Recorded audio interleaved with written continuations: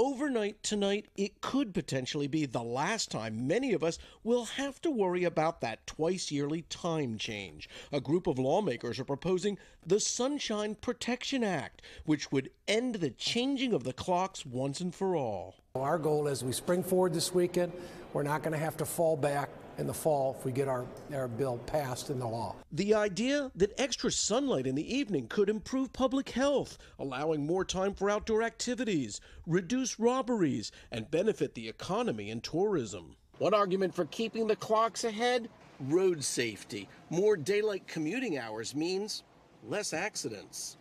I think it's more fun to have a longer day and make the most out of your day. I'm not looking forward to losing an hour of sleep. But why do we change the clocks? It's a question as old as time. Well, not quite. The Germans first used daylight saving time in 1916 as a way of saving coal during World War I.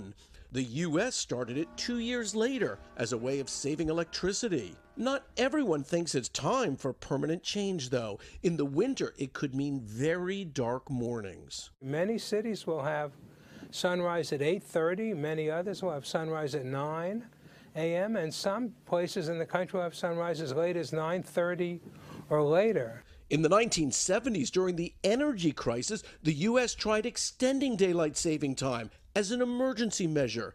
It was so unpopular, with many children heading to school in total darkness in the winter, that it was soon scrapped. So, will we give it another try? Only time will tell. For today, Kerry Sanders, NBC News, Miami.